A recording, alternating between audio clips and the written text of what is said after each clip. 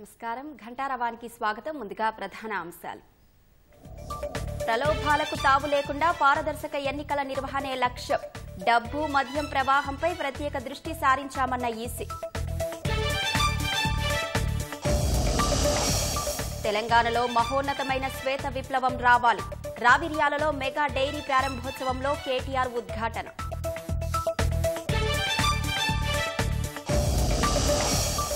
గవర్నర్ను అడ్డుపెట్టుకుని భాజపా రాజకీయం చేస్తోందన్న హరీష్ రావు.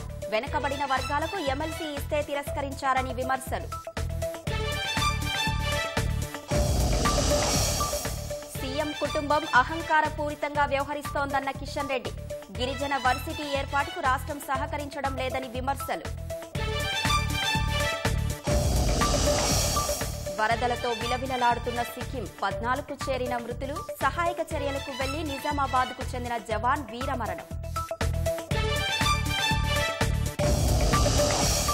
సాహిత్యంలో నోబెల్కు ఎంపికైన నార్వే రచయిత జాన్ ఫోసె స్ఫూర్తిని కొనియాడుతూ రాయల్ స్వీడిష్ పురస్కారం.